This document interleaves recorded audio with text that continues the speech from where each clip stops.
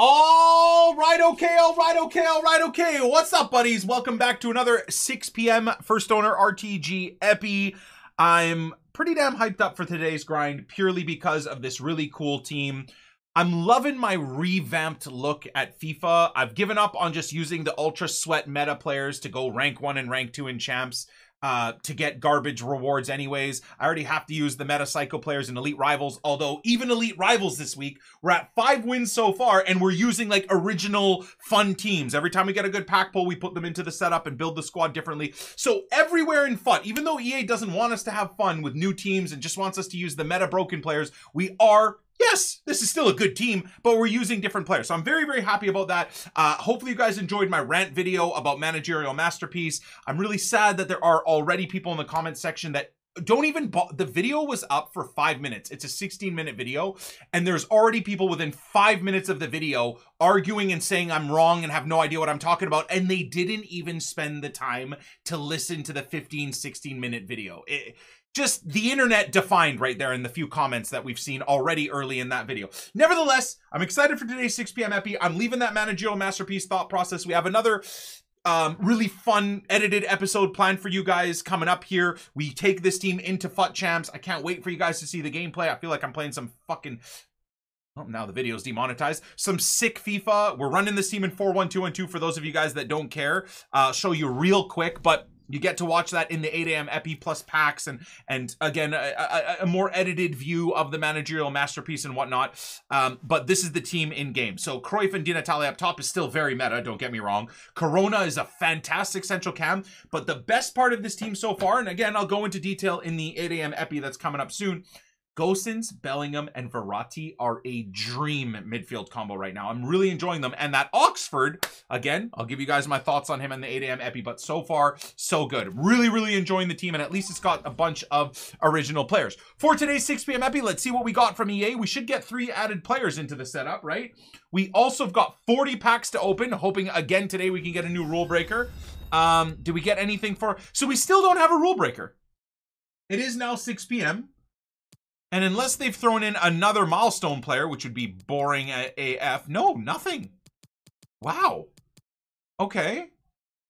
Did so last week they brought the rule breaker in on the Saturday, right? Team 2 is now available. Did they did they add um three new players? Or is that now going back to Sunday? EA are consistently inconsistent. That's their only consistency this year. Is they are so inconsistent. So it looks like now, even though last week we got Oh no! No, no, they did. They did. Look, look, look, look. Kudus is new. Klosty. Zwei's going to lose his mind. Klosty got added in. Is there anyone else I'm missing?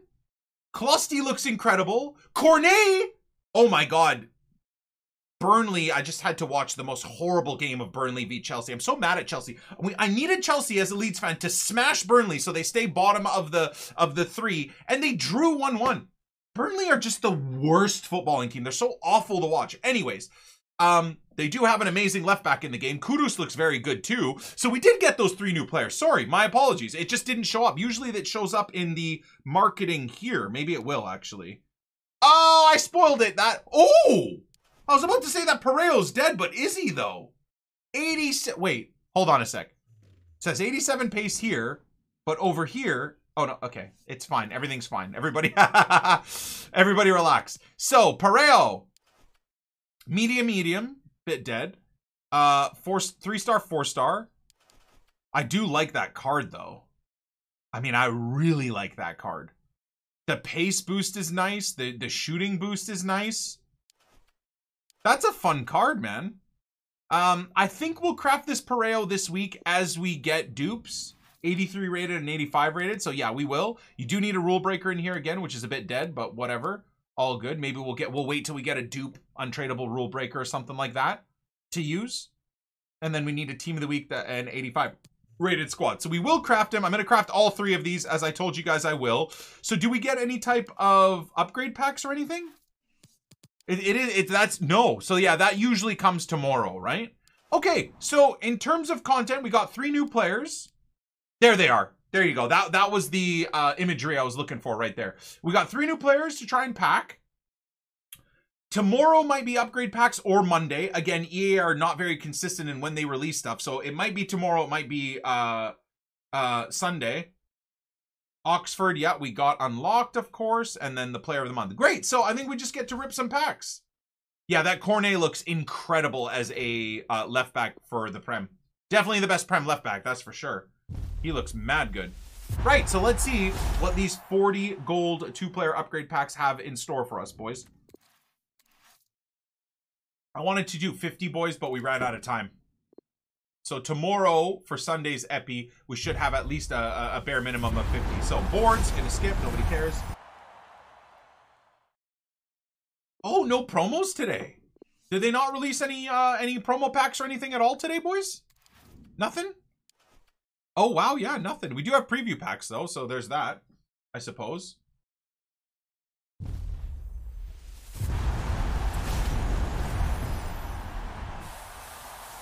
Okay. New milestone, though? Wait, is there a new milestone? Oh, hold on. Sorry. What, what did they did they actually add a new milestone? What's that about? Let's check it out. Co-op class. Oh, yeah. Mega pack. Team up and play co-op to earn untradeable rewards. A mega pack, 75 plus gold, Oh, that's kind of fun. I don't even know how co-op works this year. I haven't done it at all. That's cool. We might do that. Wait, was this there yesterday? It's not new? Okay, I, I had no idea about this, though. Play 10 co-op matches. So that's in that friendlies where I, I don't have friends, right? I have Nep and I have Zwei, but they both live on the East Coast in the UK and stuff like that. Run the FUT Market lives in the UK. Chani, you know, Habes, everybody lives so damn far away. Even my editor, Amalika, lives in bloody Greece with like one upload internet. So I can't really play with anybody. Um, but I think it matches you up with randoms, right? So that might be something we do this week if if we need to find something to do, or later tonight, or eh, you know when me and Nep maybe are done playing uh, COD, we could do that. All right, sorry, I, I thought that was actually something new. All right, let's back to the back to the packs. I don't have friends that play FIFA, which is why I think you don't need friends. Run the FUT Market is in the UK now. Cool. Uh, I never said that, but hey.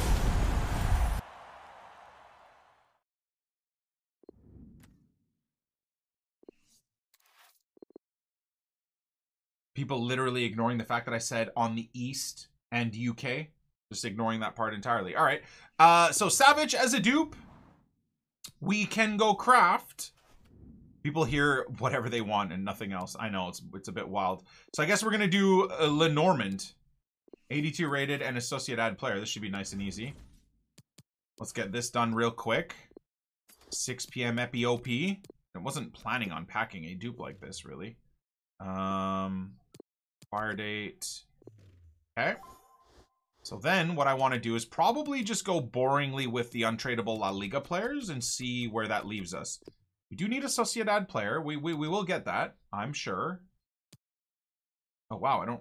That's the only player I have? For real?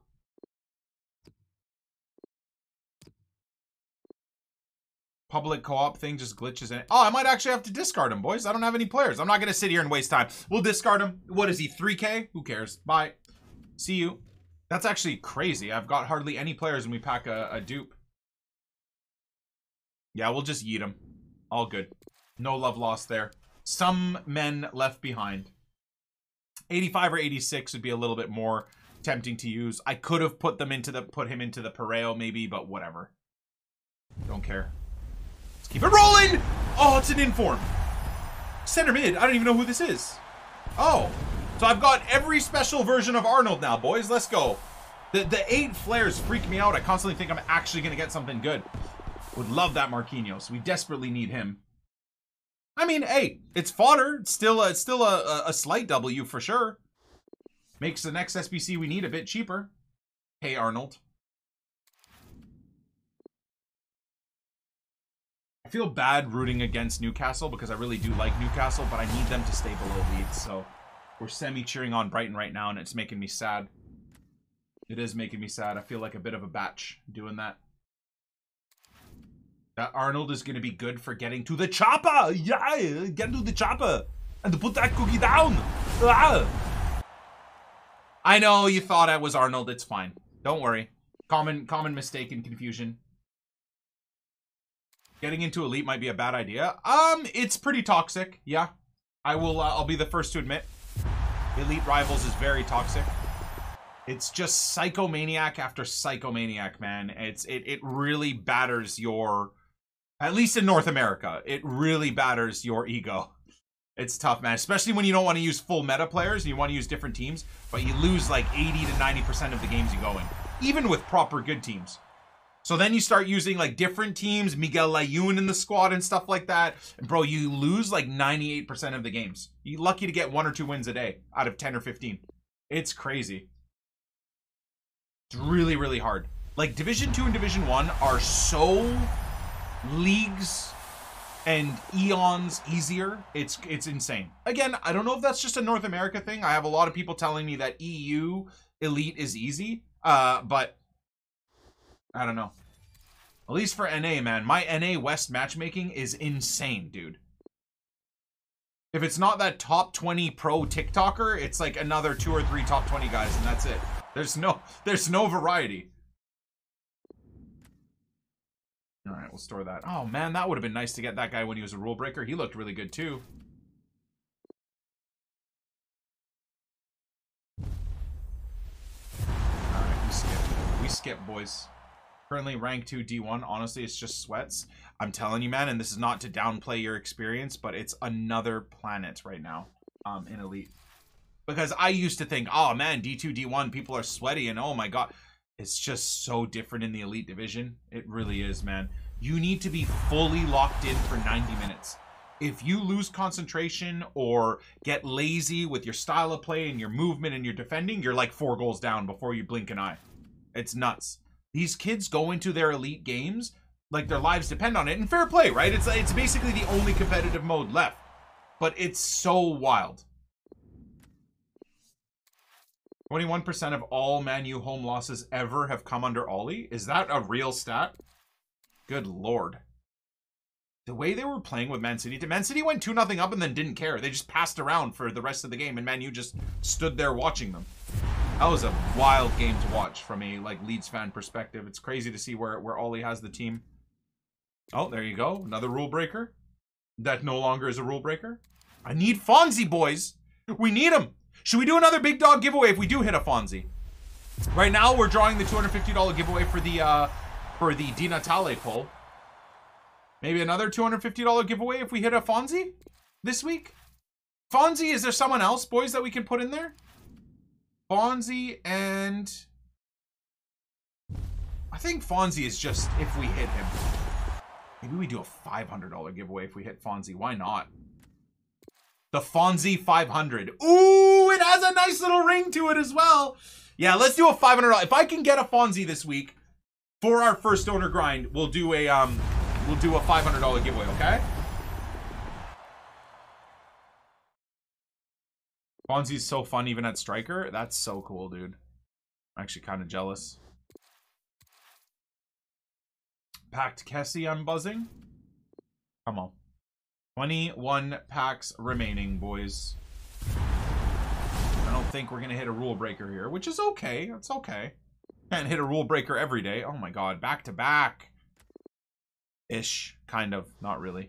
All right, so that's 384s we've discarded. L.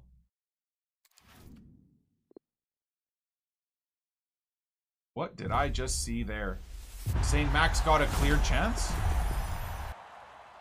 Davies is unreal. Bro, imagine how good Alphonso Davies. First, obviously, at left back, he'll be great. Imagine him at left center mid or left DM in a 4-2-3-1 or 4-1-2-1-2. Bro, I'm in love with that Gosens in that exact position. He's so good there. Imagine Fonzie there. Oh my god. Fonzie plays like he's high, high work rates anyways. So the work rates being high, low, it doesn't even matter. Doesn't even matter. Team of the Year Davies last year was the best card ever. Yeah, one of the best cards in the game for sure. Are alerts off again? Yeah, we're recording for YouTube, my guy. They're never on for YouTube.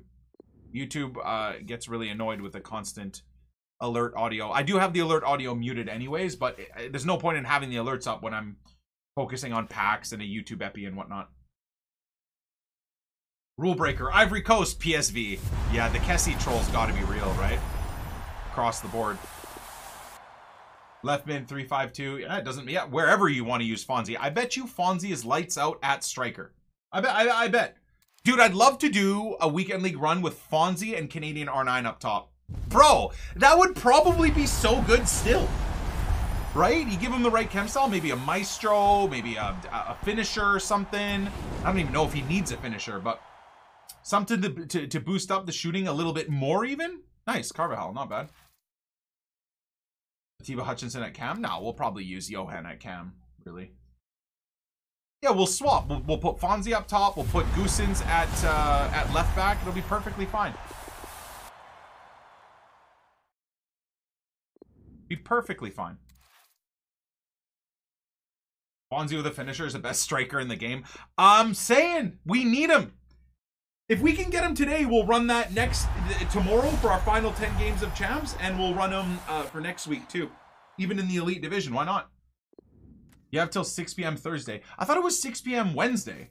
Is it Thursday or Wednesday that Fonzie goes out of packs, boys? Wing back meta, but now it's striker. Fonzie and Cam. Fonzie all over the field, dude. The Canadian that that card is going to be the Canadian Messi. I'm telling you right now. In previous years, when Fonzie was actually an attacker, we used to always call him the Canadian Messi. Canadian Messi and the Canadian R9, boys. Up top this this uh, this week, if we can do it, or next week, I suppose.